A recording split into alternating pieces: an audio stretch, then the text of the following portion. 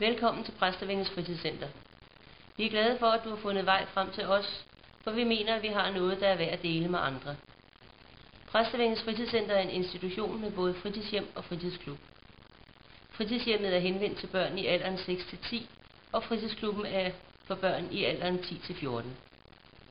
Hvad enten der er tale om fritidshjemmet eller fritidsklubben, er det vores mål at skabe en tryg hverdag for børnene, som samtidig udfordrer dem både fysisk og mentalt.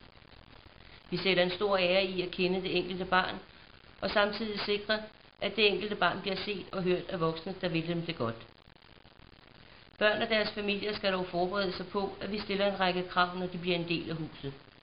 For uden krav til børnene kan vi ikke sikre en positiv udvikling. Respekt, tolerance og viljen til at tage ansvar er i vores hus egenskaber, som vi sigter mod at tilegne vores børn. Dette kan dog kun ske i samarbejde med barnets familie, og derfor er samarbejdet mellem forældre og pædagoger en forudsætning for at være en del af vores hus. Du kan her på disse sider læse meget mere om os.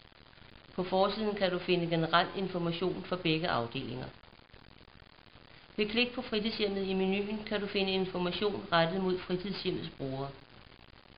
Ved klik på fritidsklubben i menuen kan du finde information rettet mod fritidsklubbens brugere. Ved klik på kontor i menuen kan du finde information omkring priser, betaling, indmeldelse, udmeldelse samt andet kontorrelateret. Ved klik på kontakt i menuen kan du finde adresser, telefonnumre og lignende. Endnu en gang, velkommen.